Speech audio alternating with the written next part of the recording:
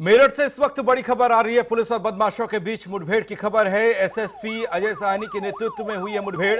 मुठभेड़ में एक लाख का इनामी रवि भूरा घायल। नायडू गैंग का सक्रिय सदस्य है रवि भूरा। तीन दिन पहले मुठभेड़ में ढेर हुआ था गैंग लीडर शक्ति नायडू।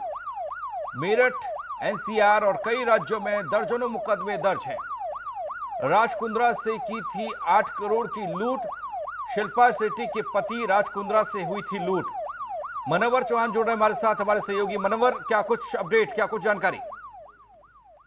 देखिए, सबसे पहले आपको बता दूँ, जिस तरह से मेरठ पुलिस एक बार फिर सक्रिय हो गई है और क्रैकडाउन जो पॉलिसी है, उस पर चल पड़ी है, क्योंकि दो दिन पहले ही शक्ति नायडू हमने आपको बात बताई थी। पहले शक्ति नायडू को पुलिस ने ढेर किया। शक्ति नायडू वही शख्स है जिसने राज कुंद्रा, जो की शिल्पा शेट्टी के पति है, उनसे आठ करोड़ रुपए की रंगदारी वसूली थी।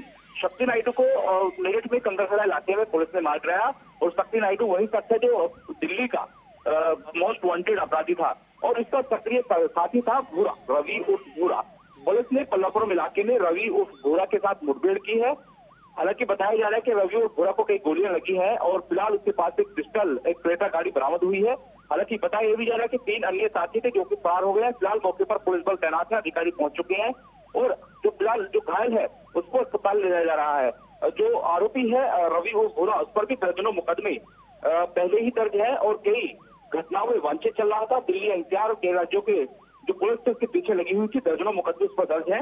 ऐसे में अब पुलिस के जो जो अन्य जो तीन साथी हैं जो चकमा देकर फरार हुए पुलिस उनकी तलाश कर रही है कॉम्बिंग अभियान लगातार जारी है एसएसपी भी मौके पर पहुँच चुके हैं। और अब इसमें देखना होगा कि जो अन्य साथी है वो कब पकड़े जाएँगे और जो रवि और है क्या उसकी जान बच पाएगी? क्योंकि पूरी तरह से गंभीर उसको बताया जा रहा है यहाँ पर। चलिए नज़र बनाए रखिएगा इस बड़ी खबर पर। मनोवर फिर आएँगे आपके पास अपडेट के लिए। फ़िलहाल आपका बहुत बहुत शुक्रिया।